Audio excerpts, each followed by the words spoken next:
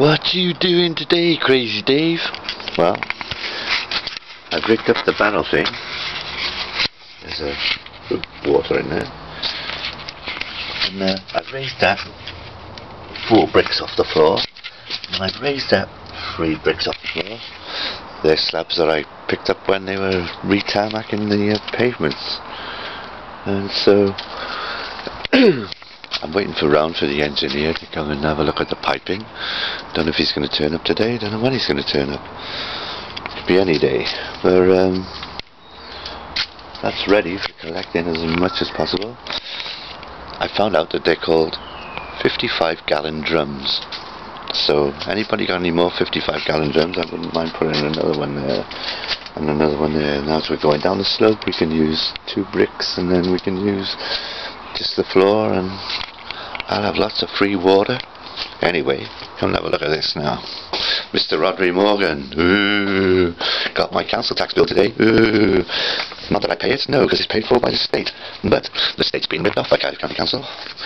Total charge for my flat, £798 10p, right? That's well, you're talking about really 800 quid, in you? 800 quid by um, two. If Mr. Watkins is paying the same, that's uh, 1600 quid.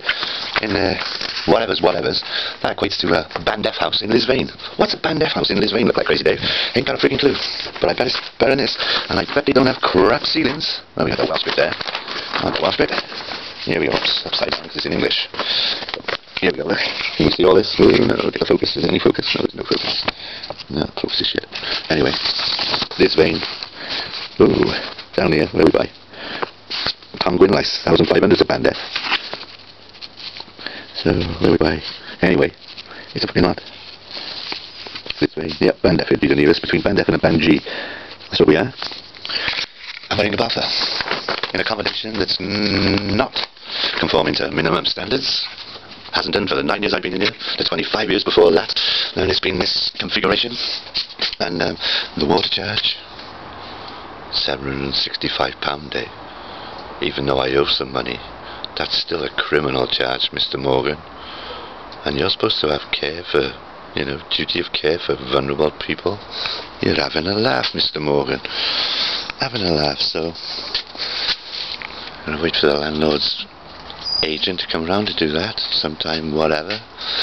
And there's other stuff to do. No protesting but other stuff to do